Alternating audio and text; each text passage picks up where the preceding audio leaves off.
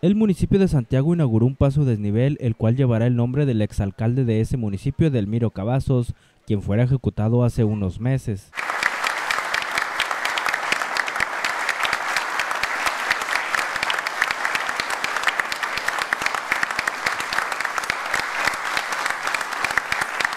El mes de noviembre, principios de diciembre se abrieron ya los dos cuerpos. Y bueno, ya los detallitos ya los entregamos el día de hoy. Básicamente, seguimos trabajando en base a lo que los diputados federales nos instruyen. Recordemos que el presupuesto de la de Tribunal de Cuentas viene etiquetado por parte del gobierno federal. Se ha hecho un extraordinario trabajo por parte de ellos.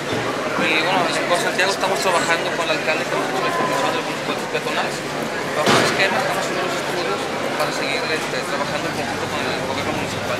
Bueno, no desconocemos de dónde viene ese, ese número, pero eh, insisto, en base a como los alcaldes van solicitando los proyectos, nosotros trabajamos con gobierno del estado, se le presenta a los diputados federales, ellos van a votar el presupuesto de egresos de cada año en los meses de diciembre, se logra un recurso para que nosotros lo ejecutemos el año que sigue. En este caso se hizo un extraordinario trabajo, es histórica la cifra que se tiene por parte de la FT, se incrementó un 13% más por parte del presupuesto para Nuevo León. Bueno, en este caso nosotros ejecutar la obra que se nos construye el gobierno.